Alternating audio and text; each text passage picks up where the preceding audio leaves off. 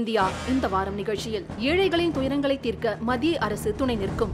வாரணாசியில் பிரதமர் நரேந்திர மோடி உறுதி. ஜப்பான் முன்னாள் பிரதமர் ஷின்சோ அபே துப்பாக்கியால் சுடப்பட்டு உயிரிழப்பு. இந்தியாவில் ஒருநாள் துக்கம் அனுசரிப்பு.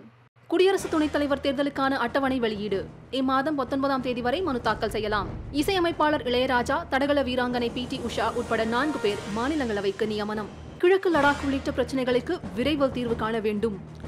வெளியுறவுத்துறை அமைச்சர் ஜெயசங்கர் சீன வெளியுறவுத்துறை அமைச்சரிடம் வலியுறுத்தல். மற்றும் கொரோனா பூஸ்டர் தடுப்பூசி செலுத்திக் கொள்வதற்கான கால அவகாசம் ஒன்பது மாதத்திலிருந்து ஆறு மாதமாக குறைப்பு.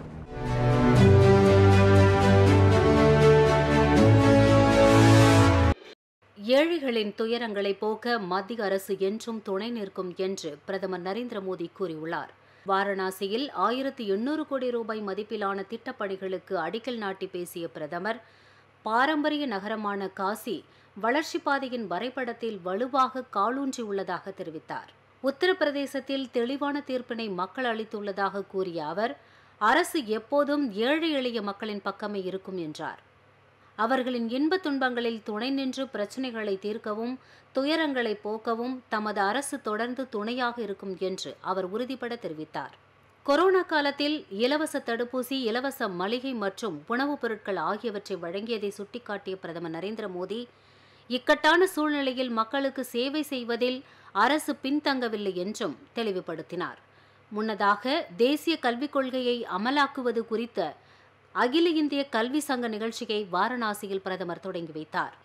இந்த நிகழ்ச்சியில் உரையாற்றிய அவர் குறுகிய சிந்தனை கொண்ட நடைமுறைகளிலிருந்து கல்வியை விடுவித்து இருபத்தோராம் நூற்றாண்டின் நவீன சிந்தனைகளுடன் ஒருங்கிணைப்பதே புதிய தேசிய கல்விக் கொள்கையின் நோக்கம் என்று கூறினார். வெறும் பட்டம் பெறுவதற்கு மட்டுமல்லாமல் நாட்டை முன்னேற்றுவதற்கு தேவையான மனித வளம் கொண்டவர்களாக இளைஞர்களை மாற்றுவதே கல்விக் கொள்கையின் நோக்கம் என்று அவர் தெரிவித்தார். தேசிய கல்விக் கொள்கை மூலம் சமஸ்கிருதம் போன்ற பழமையான மொழிகளை பரப்ப நடவடிக்கை எடுக்கப்பட்டு வருவதாக அவர் தெரிவித்தார். வாரணாசியில் உள்ள ஆசிரியர் பயிற்சி கல்லூரியில் அட்சய பாத்திர மதிய உணவு சமையல் அறையை பிரதமர் நரேந்திர மோடி தொடங்கி வைத்தார். இந்த சமையல் அறையில் இருந்து நூற்றி ஐம்பது அரசு பள்ளிகளில் படிக்கும் சுமார் ஒரு லட்சம் மாணவர்களுக்கு மதிய உணவு தயாரித்து அனுப்பப்படும்.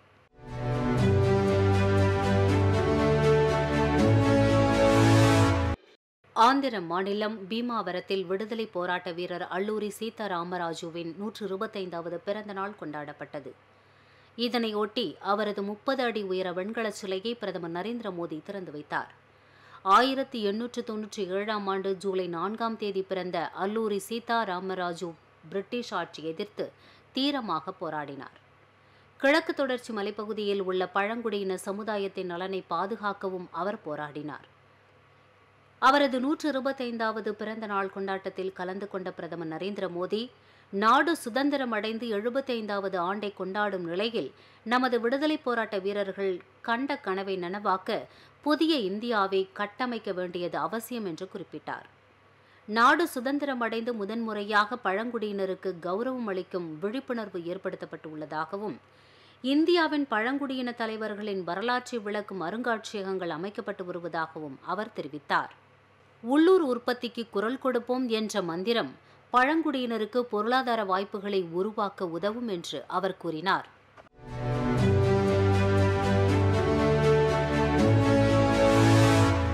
நாட்டின் வளர்ச்சி பயணத்தில் இந்திய மொழி பத்திரிகைகளின் பங்களிப்பு மிக முக்கியமானது என பிரதமர் நரேந்திர மோடி தெரிவித்துள்ளார். அசாம் மாநிலத்தின் ஆக்ரா தூத் பத்திரிகை குழும பொன்விழா கொண்டாட்டத்தை காணொலி வாயிலாக தொடங்கி வைத்து உரையாற்றிய பிரதமர் சிறந்த தகவல்களை உரிய முறையில் சமுதாயத்திற்கு கொண்டு சேர்க்க அனைவரும் ஒருங்கிணைந்து பாடுபட வேண்டும் என்றார். ஆக்ரா தூத் பத்திரிகை எப்போதும் தேச நலனுக்கு முக்கியத்துவம் அளித்து வருவதாகவும் அவர் குறிப்பிட்டார். இந்திய மொழி பத்திரிகைகள் நாட்டின் பாரம்பரியம் கலாச்சாரம் சுதந்திர போராட்டம் மற்றும் வளர்ச்சி பயணத்தில் முக்கிய பங்கு வகித்து வருவதாகவும் பிரதமர் தெரிவித்தார்.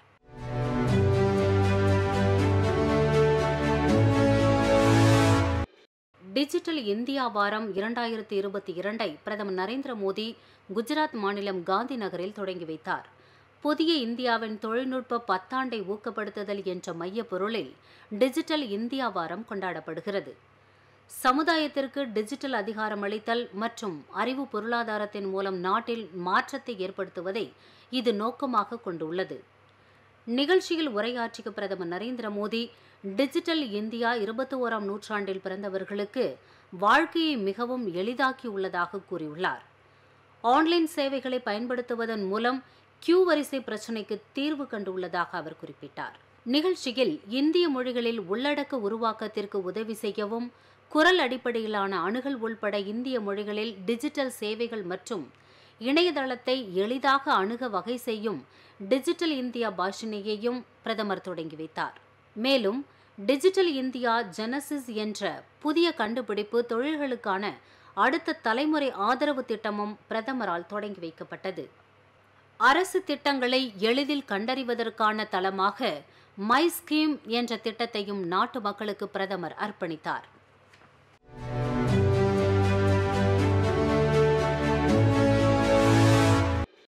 புதிய இந்தியா என்ற கனவை நிறைவேற்ற பிஜேபி தலைவர்களும் தொண்டர்களும் கடுமையாக உழைக்க வேண்டும் என்று பிரதமர் நரேந்திர மோடி அறிவுறுத்தியுள்ளார். பிஜேபியின் இரண்டு நாள் தேசிய செயற்குழு கூட்டம் ஹைதராபாத்தில் நடைபெற்றது. செயற்குழு கூட்டத்தை தொடர்ந்து பிஜேபி சார்பில் நடைபெற்ற பொதுக்கூட்டத்தில் பிரதமர் உரையாற்றினார். அப்போது அவர் கொள்கைகள் மற்றும் வளர்ச்சி திட்டங்களால் மத்திய அரசு மீது அனைத்து தரப்பு மக்களின் நம்பிக்கை தொடர்ந்து அதிகரித்து வருவதாக தெரிவித்தார். கடந்த எட்டு ஆண்டுகளில் மேற்கொண்டு வரும் பல்வேறு வளர்ச்சி திட்டங்கள் மற்றும் கொள்கைகளால் மத்திய அரசு மீது அனைத்து தரப்பு மக்களின் நம்பிக்கை அதிகரித்து வருவதாக தெரிவித்தார். நாட்டின் பிற மாநிலங்களில் பிஜேபியின் இரட்டை எஞ்சின் அரசு மக்களின் நம்பிக்கையை பெற்று வரும் சூழலில் தெலுங்கானா மக்களும் பிஜேபிக்கு நிச்சயம் ஆதரவு தருவார்கள் என்றும் குறிப்பிட்டார்.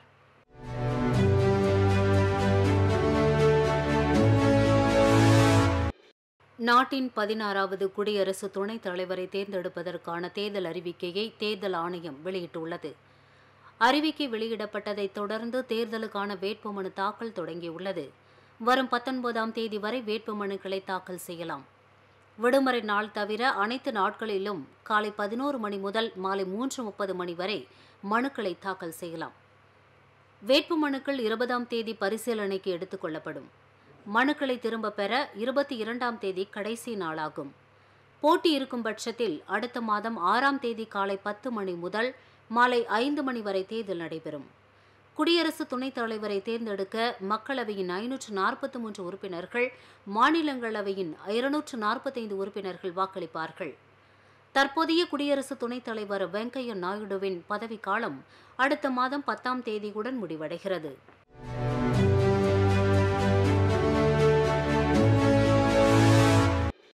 இசையமைப்பாளர் இளையராஜா ஓட்டப்பந்தய வீராங்கனை பி. டி. உஷா உள்ளிட்ட நான்கு பேர் மாநிலங்களவை நியமன உறுப்பினர்களாக நியமிக்கப்பட்டுள்ளனர். மாநிலங்களவையில் ஏற்கனவே நியமன உறுப்பினர்களாக இருந்த சிலரின் பதவிக்காலம் நிறைவடைந்ததை தொடர்ந்து அந்த இடங்களுக்கு நான்கு புதிய உறுப்பினர்களை குடியரசுத் தலைவர் நியமித்துள்ளார். அதன்படி தமிழகத்தைச் சேர்ந்த இசையமைப்பாளர் இளையராஜா கேரளாவைச் சேர்ந்த ஓட்டப்பந்தய வீராங்கனை பி. டி. உஷா கர்நாடகத்தைச் சேர்ந்த சமூக சேவகர் வீரேந்திர ஹெக்டே ஆந்திராவைச் சேர்ந்த திரைப்பட இயக்குனர் விஜயேந்திர பிரசாத் ஆகியோர் மாநிலங்களவை நியமன உறுப்பினர்களாக நியமிக்கப்பட்டுள்ளனர்.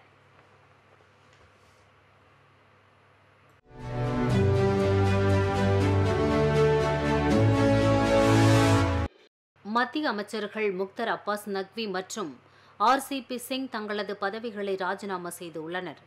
பிஜேபியைச் சேர்ந்த முக்தர் அப்பாஸ் நக்வி மத்திய சிறுபான்மையினர் நலத்துறை அமைச்சராக பதவி வகித்து வந்தார். ஐக்கிய ஜனதா தள கட்சியைச் சேர்ந்த ஆர்சிபி சிங் மத்திய எஃகுத்துறை அமைச்சராக இருந்து வந்தார். இவர்களின் இருவரின் மாநிலங்களவை உறுப்பினர் பதவிக்காலம் நிறைவடைவதால் இருவரும் தங்களது மத்திய அமைச்சர் பதவியை ராஜினாமா செய்து பிரதமர் நரேந்திர மோடியிடம் கடிதம் அளித்துள்ளனர்.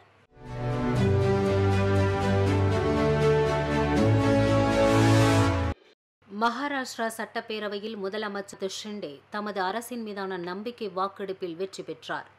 மகாராஷ்டிராவில் உத்தவ் தாக்கரே தலைமையிலான கூட்டணி அரசு ராஜினாமா செய்ததை அடுத்து ஷிண்டே புதிய முதலமைச்சராக பதவியேற்றார். பிஜேபியைச் சேர்ந்த முன்னாள் முதலமைச்சர் தேவேந்திர பட்னாவிஸ் துணை முதலமைச்சராக பதவியேற்றுள்ளார். இந்நிலையிலே அரசு நம்பிக்கை வாக்கெடுப்பு நடத்தி பெரும்பான்மையை நிரூபிப்பதற்காக இரண்டு நாள் சட்டப்பேரவை சிறப்பு கூட்டம் தொடங்கியது. முதல் நாளில் சபாநாயகர் தேர்தல் நடைபெற்றது. இத்தேர்தலில் பிஜேபி சார்பில் சட்டமன்ற உறுப்பினர் ராகுல் நர்வேகர் வெற்றி பெற்றார். புதிய சபாநாயகர் தலைமையில் நம்பிக்கை வாக்கெடுப்பு நடைபெற்றது. திருஷிண்டே அரசுக்கு நூற்று அறுபத்தி நான்கு வாக்குகள் கிடைத்தன. நம்பிக்கை வாக்கெடுப்புக்கு எதிராக தொன்னூற்று ஒன்பது வாக்குகள் பதிவாகின. மூன்று பேர் வாக்கெடுப்பில் கலந்து கொள்ளவில்லை.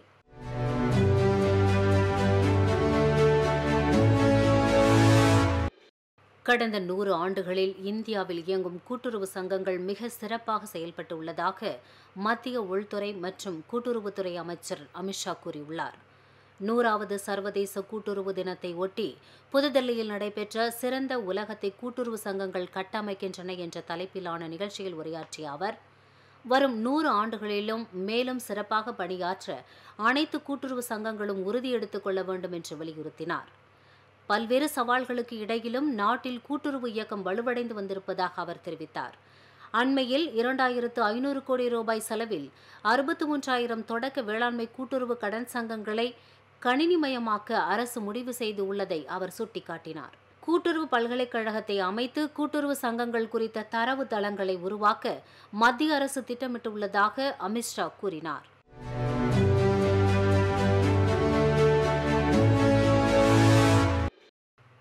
பதினான்கு மாநிலங்களுக்கான வருவாய் பற்றாக்குறை மானியம் ஏழாயிரத்து நூற்றி எண்பத்து மூன்று கோடியை மத்திய நிதியமைச்சகம் விடுவித்துள்ளது. இது தொடர்பாக நிதியமைச்சகம் வெளியிட்டுள்ள செய்தியில் நடப்பு நிதியாண்டில் மட்டும் மாநிலங்களுக்கு இருபத்தி எட்டாயிரத்து எழுநூற்று முப்பத்து மூன்று கோடி ரூபாய் வருவாய் பற்றாக்குறை மானியம் வழங்கப்பட்டுள்ளதாக தெரிவிக்கப்பட்டுள்ளது. கடந்த நிதியாண்டில் எண்பத்தி ஆறாயிரத்து இருநூற்று ஒரு கோடி ரூபாய் வருவாய் பற்றாக்குறை மானியம் பதினான்கு மாநிலங்களுக்கு வழங்கப்பட்டதாக நிதியமைச்சகம் கூறியுள்ளது.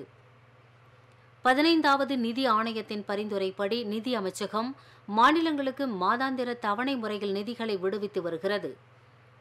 ஆந்திரா அஸ்ஸாம் ஹிமாச்சல பிரதேசம் கேரளா மணிப்பூர் மேகாலயா மிசோரம் நாகாலாந்து பஞ்சாப் ராஜஸ்தான் சிக்கிம் திரிபுரா உத்தராகண்ட் மற்றும் மேற்கு வங்கம் ஆகிய பதினான்கு மாநிலங்களுக்கு வருவாய் பற்றாக்குறை மானியங்கள் விடுவிக்கப்பட்டுள்ளன.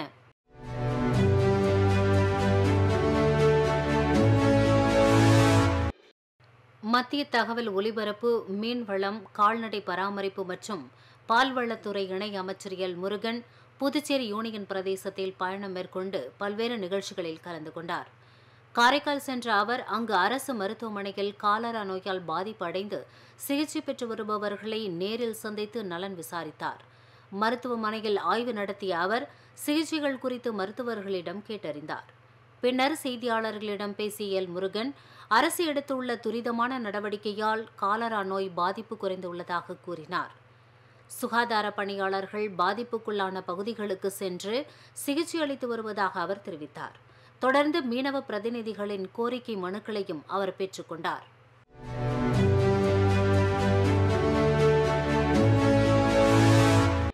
கிழக்கு லடாக் உள்ளிட்ட பிரச்சினைகளுக்கு விரைவில் தீர்வு காண வேண்டும் என்று சீனாவிடம் இந்தியா மீண்டும் வலியுறுத்தியுள்ளது.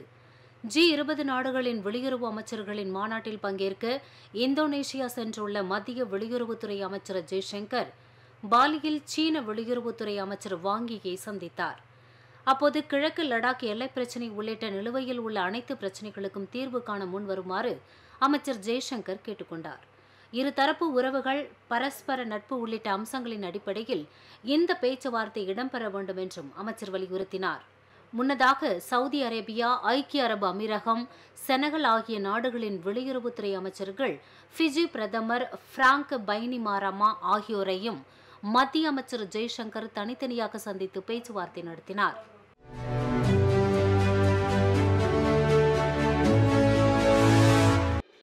குலுவில் பள்ளி பேருந்து கவிழ்ந்து விபத்துக்கு உள்ளானதில் பள்ளி குழந்தைகள் உட்பட பதினான்கு பேர் உயிரிழந்தனர். மேலும் பலர் காயமடைந்தனர். இந்த விபத்து குறித்து வேதனை தெரிவித்த பிரதமர் உயிரிழந்தவர்களின் குடும்பங்களுக்கு பிரதமர் நிவாரண நிதியிலிருந்து தலா இரண்டு லட்சம் ரூபாய் வழங்கவும் காயமடைந்தவர்களுக்கு தலா ஐம்பதாயிரம் ரூபாய் வழங்கவும் உத்தரவிட்டுள்ளதாக பிரதமர் அலுவலகம் கூறியுள்ளது. உயிரிழப்பு குறித்து இரங்கல் தெரிவித்துள்ள பிரதமர் காயமடைந்தவர்கள் விரைந்து குணமடைய பிரார்த்திப்பதாக தெரிவித்துள்ளார்.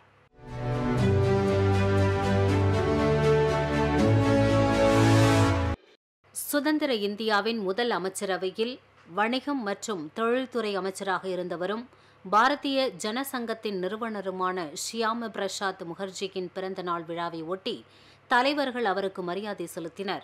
நாடாளுமன்ற மைய மண்டபத்தில் உள்ள ஷியாம பிரசாத் முகர்ஜியின் திருவுருவ படத்திற்கு மக்களவைத் தலைவர் ஓம் பிர்லா பிரதமர் நரேந்திர மோடி வர்த்தக மற்றும் தொழில்துறை அமைச்சர் பியோஸ் கோயல் நீர்வளத்துறை அமைச்சர் கஜேந்திர சிங் ஷெகாவத் மற்றும் நாடாளுமன்ற உறுப்பினர்கள் உள்ளிட்டோர் மலர்தூவி மரியாதை செலுத்தினர்.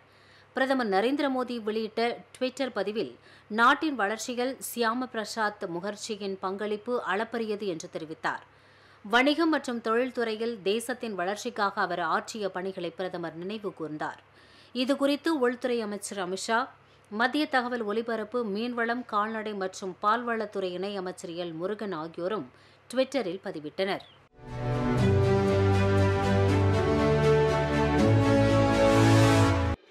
பிரதமர் நரேந்திர மோடி திபெத் ஆன்மீக தலைவர் தலாய் லாமாவின் பிறந்த நாளை முன்னிட்டு வாழ்த்து தெரிவித்தார். தலாய் லாமா தமது எண்பத்தி ஏழாவது பிறந்த நாளை கொண்டாடினார். இதையொட்டி தலாய் லாமாவை தொலைபேசியில் தொடர்பு கொண்டு வாழ்த்து தெரிவித்த பிரதமர் தலாய் லாமாவிற்கு நல்ல ஆரோக்கியத்தையும் நீண்ட ஆயுளையும் வழங்க வேண்டும் என பிரார்த்திப்பதாக கூறினார்.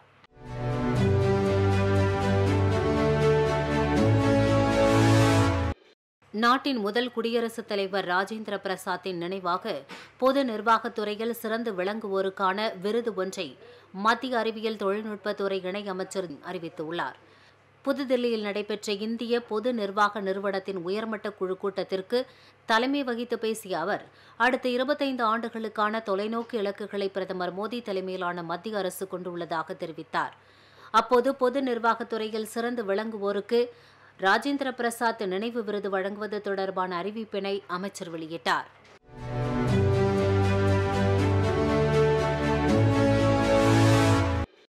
கொரோனா பூஸ்டர் தடுப்பூசி செலுத்திக் கொள்வதற்கான கால அவகாசம் குறைக்கப்பட்டுள்ளது. இதன்படி இரண்டாவது தவணை தடுப்பூசி செலுத்திக் கொண்டதிலிருந்து ஆறு மாதம் முடிவடைந்தவுடன் பூஸ்டர் எனப்படும் முன்னெச்சரிக்கை தவணையை செலுத்திக் கொள்ளலாம் என மத்திய சுகாதாரத்துறை தெரிவித்துள்ளது. தடுப்பூசிக்கான தேசிய தொழில்நுட்ப ஆலோசனைக் குழு அளித்த பரிந்துரையை ஏற்று இரண்டாவது தவணை செலுத்தியதிலிருந்து ஒன்பது மாதங்களாக இருந்த கால அவகாசம் தற்போது ஆறு மாதங்களாக குறைக்கப்பட்டுள்ளதாக மத்திய சுகாதாரத்துறை செயலாளர் ராஜேஷ் பூஷன் அனைத்து மாநிலங்களுக்கும் அனுப்பியுள்ள கடிதத்தில் தெரிவித்துள்ளார். இதற்கு ஏற்ப கோவின் இணையதளத்தில் மாற்றங்கள் செய்யப்பட்டிருப்பதாகவும் அவர் தெரிவித்தார். எனவே அனைத்து பயனாளிகளுக்கும் முன்னெச்சரிக்கை தவணை தடுப்பூசி வழங்குவதற்கான நடவடிக்கைகளை மேற்கொள்ளுமாறு அனைத்து மாநிலங்கள் மற்றும் யூனியன் பிரதேசங்களை அவர் கேட்டுக் கொண்டுள்ளார்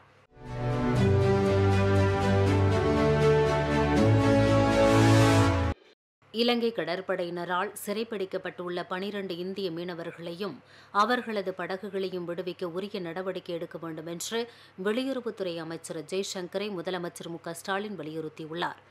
இதுகுறித்து வெளியுறவுத்துறை அமைச்சருக்கு எழுதியுள்ள கடிதத்தில் தமிழ்நாட்டைச் சேர்ந்த ஏழு மீனவர்கள் மற்றும் புதுச்சேரியைச் சேர்ந்த ஐந்து மீனவர்கள் உள்பட பனிரண்டு அப்பாவி மீனவர்கள் இலங்கை கடற்படையினரால் கைது செய்யப்பட்டதை அவர் சுட்டிக்காட்டியுள்ளார்.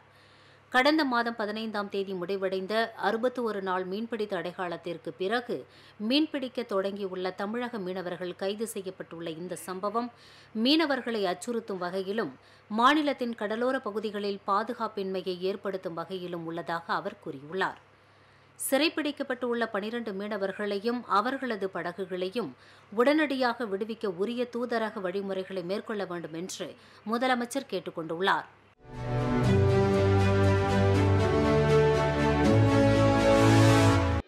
ஜம்மு காஷ்மீரில் உள்ள அமர்நாத் குகை கோவில் அருகே நிகழ்ந்த திடீர் மேகவெடிப்பு சம்பவத்தில் உயிரிழந்தோர் எண்ணிக்கை பதிமூன்றாக அதிகரித்துள்ளது. இந்த மேகவெடிப்பு காரணமாக ஏற்பட்ட மழை வெள்ளத்தில் ஏராளமான பக்தர்கள் சிக்கி தவித்தனர். தகவல் அறிந்து விரைந்து வந்த மீட்புக் குழுவினர் பாதிக்கப்பட்ட பக்தர்களை மீட்கும் பணியில் ஈடுபட்டுள்ளனர். கனமழை மற்றும் வெள்ளத்தில் சிக்கி இருபத்தி ஐந்து கூடாரங்களும் மூன்று சமையல் அறைகளும் சேதமடைந்ததாக கூறிய ஜம்மு காஷ்மீர் காவல்துறையினர் மூன்று பெண்கள் உட்பட பதிமூன்று பேர் உயிரிழந்துவிட்டதாக தெரிவித்தனர். காயங்களுடன் மீட்கப்பட்ட நாற்பத்தி எட்டு பேர் மருத்துவமனையில் அனுமதிக்கப்பட்டுள்ளனர். வெள்ளம் பாதித்த பகுதிகளில் ராணுவ வீரர்கள் இந்தோ திபெத்திய எல்லை காவல் படையினர் மற்றும் காவல்துறையினர் மீட்பு பணியில் ஈடுபட்டுள்ளனர். இதனிடையே அமர்நாத் மேகவெடிப்பு சம்பவத்தில் உயிரிழந்தோர் குடும்பங்களுக்கு பிரதமர் நரேந்திர மோடி இரங்கல் தெரிவித்துள்ளார். ஜம்மு காஷ்மீர் துணைநிலை ஆளுநர் மனோஜ் சின்ஹாவுடன் தொலைபேசியில் தொடர்பு கொண்டு பேசிய பிரதமர் நரேந்திர மோடி தேவையான நடவடிக்கைகளை விரைந்து எடுக்குமாறு கேட்டுக்கொண்டார்.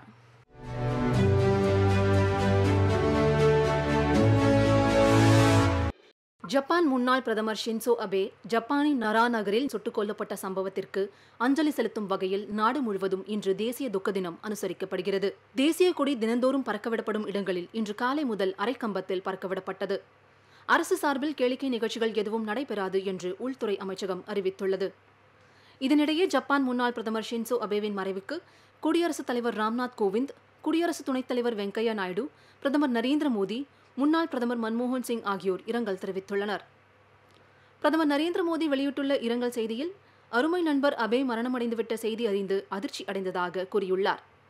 தலைசிறந்த நிர்வாகியாகவும் உலகத் தலைவர்களில் நிகரற்றவராகவும் திகழ்ந்தவர் அபே என்றும் இந்தியா ஜப்பான் நல்லுறவை அடுத்த கட்டத்திற்கு கொண்டு சென்றதில் அபேவின் பங்களிப்பு மிக முக்கியமானது என்றும் தெரிவித்துள்ளார். உலக அமைதிக்காகவும் ஜப்பான் மக்களுக்காகவும் தன் வாழ்நாளையே அர்ப்பணித்தவர் ஷின்சோ அபே என புகழாரம் சூட்டியுள்ள பிரதமர் நரேந்திர மோடி இந்த இக்கட்டான தருணத்தில் ஜப்பான் மக்களுடன் இந்தியர்கள் அனைவரும் துணை நிற்பதாகவும் கூறியுள்ளார்.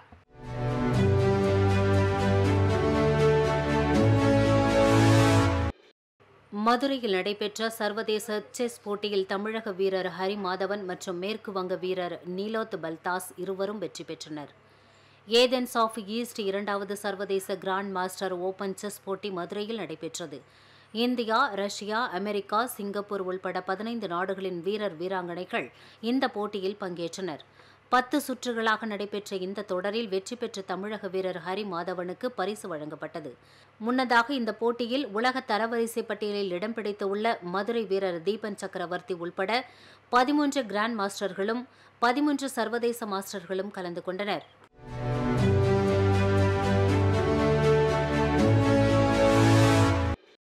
உலக கிக் பாக்ஸிங் போட்டியில் சென்னையைச் சேர்ந்த சுப்ரஜா மற்றும் வசீகரன் ஆகியோர் பதக்கம் வென்று சாதனை படைத்துள்ளனர். உஸ்பெகிஸ்தான் தலைநகரான தாஷ்கண்டில் நடைபெற்ற இப்போட்டியில் பதினாறு நாடுகளைச் சேர்ந்த ஆயிரத்து நானூறு மாணவ மாணவிகள் பங்கேற்றனர். இந்தியா சார்பாக கலந்து கொண்ட பதினாறு பேரில் சென்னையைச் சேர்ந்த மாணவன் வசீகரன் வெள்ளி மற்றும் வெண்கல பதக்கமும் மாணவி சுப்ரஜா தங்கம் வெள்ளிப் பதக்கத்தையும் வென்று சாதனை படைத்துள்ளனர். நாடு திரும்பிய இருவருக்கும் சென்னை விமான நிலையத்தில் பெற்றோர்கள் மற்றும் உறவினர்கள் மாலை அணிவித்து வரவேற்பு அளித்தனர். பின்னர் செய்தியாளர்களிடம் பேசிய இருவரும் மாநில அரசு கிக் பாக்ஸிங் வீரர்களுக்கு தனி பயிற்சி மையங்கள் அமைத்து தர வேண்டும் என்றும் இனி வரவிருக்கும் போட்டிகளில் பதக்கம் வெல்வதற்கு அரசு உதவ வேண்டும் என்றும் கோரிக்கை விடுத்தனர்.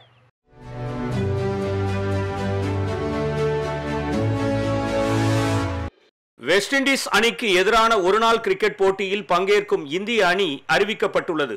இந்திய கிரிக்கெட் கட்டுப்பாட்டு வாரிய செயலாளர் ஜெய்ஷா வெளியிட்டுள்ள அறிவிப்பில் ஷிகர் தவான் அணித்தலைவராக இருப்பார் என தெரிவிக்கப்பட்டுள்ளது. இந்த அணியில் துணை கேப்டனாக ரவீந்திர ஜடேஜா நியமிக்கப்பட்டுள்ளார்.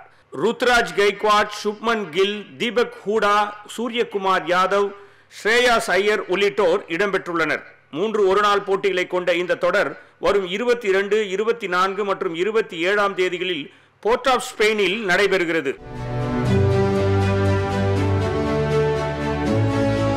நிகழ்ச்சி குறித்த உங்கள் கருத்துக்களை பதிவு செய்ய வேண்டிய மின்னஞ்சல் Podhigai news two thousand seven at Gmail dot com.